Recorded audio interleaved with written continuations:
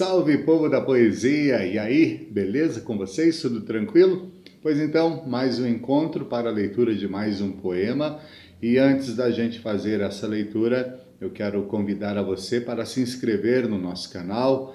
Clique aqui no inscrever-se para você nos acompanhar na nossa página no Facebook, também no Instagram, Palavras Underline Concórdia, onde todo santo dia a gente disponibiliza lá um pequeno trecho de um poema ou de literatura, é só ir lá e dar uma conferida. E também pedir para vocês né, compartilharem nossos vídeos, uh, comunicarem a professores, a alunos, que a gente faz esse trabalho levando poesia e de repente você está aí na escola querendo fazer o trabalho, encontrar algum poema e a gente tem esse poema aqui no nosso canal. Então compartilhe aí com professores, com amigos, com quem você quiser, com inimigos também está valendo, né? Seu compartilhamento, a sua indicação é muito importante para a gente, nos dá uma motivação a mais para continuarmos levando poesia aqui para você, tá certo?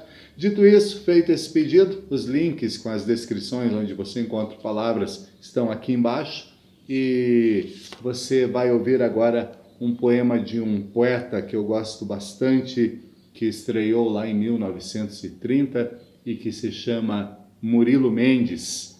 E esse poema chama-se Lamentação. Nenhum homem tem mais saída. Antes de nós o dilúvio, durante o tédio no caos, depois o épico escuro. A esperança desespera, os olhos não são para ver, nem os ouvidos para ouvir o diálogo virou monólogo. Meio-dia é meia-noite. Todos curvados constroem suas próprias algemas. O longo ai das criaturas sobe para o céu forrado de espadas. Lamentação, Murilo Mendes. Vale a pena ler.